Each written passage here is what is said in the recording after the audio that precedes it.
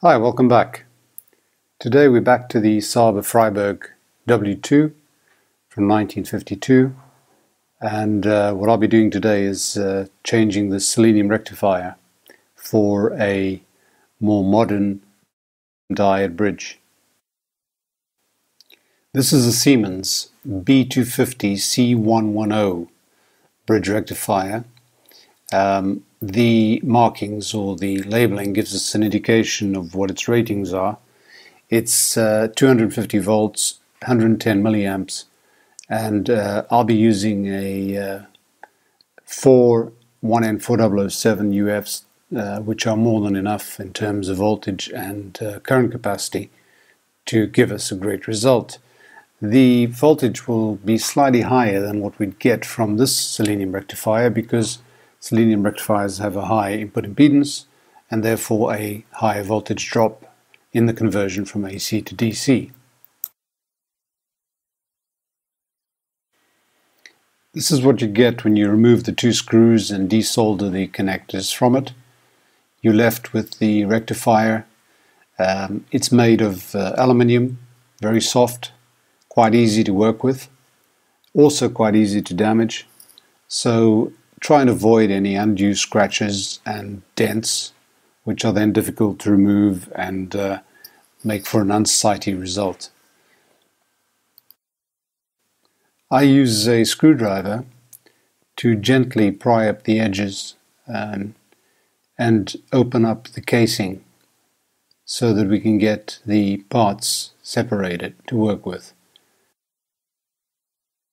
And this is what you're left with when you've opened up both sides.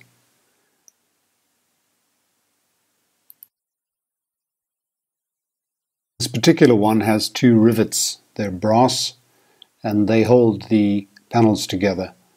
Um, this is the first case where I've actually found the rivets. Usually you don't have them at all, but uh, using a drill bit you can very carefully drill the rivets out and you're good to go. The top plate then just slides out from the assembly and what you're left with is the interior with these spring-loaded clips that hold the selenium plates in position. The clips come off and below that you'll find the selenium plates stacked together um, above the contacts to the assembly. These you remove and you're left with the bare assembly unit with the connection tabs for the various uh, solder points. And these are the selenium plates that um, I've removed. They just go in the garbage. Nothing more to do with them. And this is what you're left with. You've got your assembly. You've got those brass plates in place. They seem to be uh, there seem to be five of them. There are actually four because the one on the right is one plate that goes below the plastic molding of the case. They're then wired to the solder tags on the right hand side. And this is what you've got. You've got the unpopulated casing at the top, top right. On the lower left is the bridge rectifier schematic that we want to recreate inside the casing. And on the bottom right is uh, a drawing of the pads as we have them inside the unit. The uh, bridge rectifier schematic is very simple. You've got the four diodes. The left and right connection is for the AC input. Top is positive, bottom is negative. The way I like to remember this is that the two diodes point to the positive and two diodes point away from the negative. Very simple. On the right, lower right, you have the pads drawn in. The way these are wired is uh, the one on the left is the positive. The two central ones are the AC input points, and the one on the right is the negative connector. These are connected to their respective solder points on the far right of the casing, as you can see there.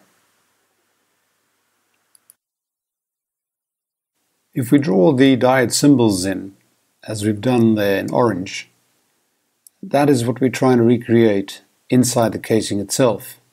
You've got the right hand connector which is negative, you've got two diodes going off from there to the AC points which are in the middle, and then from those two AC points you've got two diodes going to the positive connector on the far left. It's uh, actually very convenient the way this is drawn up and laid out. It makes it a lot simpler. The next thing to do is to tin the brass connectors that you're going to solder the diodes to. These can be quite difficult to tin, so the best thing to do is actually to remove them, tin them outside, possibly use some flux, clean it with a bit of steel wool, and uh, the solder should adhere quite well. And this is what you get when the diodes are soldered in. They're soldered in place, check for connections, make sure that the solder joints are solid. You do not want to open this up later if you've made a mistake. At this point it's time to mount everything up again, put the various layers back in place and the lid, and then gently hammer the lid back into position so that you have a solid connection um, and uh, as little damage as possible. Just make sure that the holes line up. So you're about ready to go. What I like to do is to clean out the solder tags properly. I also uh, make a note on the back that uh, the selenium rectifier has been replaced with four diodes just so the next guy who perhaps comes and does a, a restoration in this, and maybe 50, 60 years from now, who knows, we'll know that uh, the changes have been made. It's just uh, good practice. Right, final stage is just to wire it up and uh, screw it back onto the casing. Be very careful with the, the wires that you do wire up. Make sure you've got the, the right ones in place. And then um, what I want to do here is set the voltage input for 240 volts. As I mentioned earlier in earlier videos, my uh, mains wiring at home is 235, not 220. So I'll change it to 240 volts and then see what the result is. And here's the result. I get 262 volts out of the selenium, or rather the new bridge rectifier. I was getting a significant amount lower than that before. Um, I actually want 270, so this is not that far off.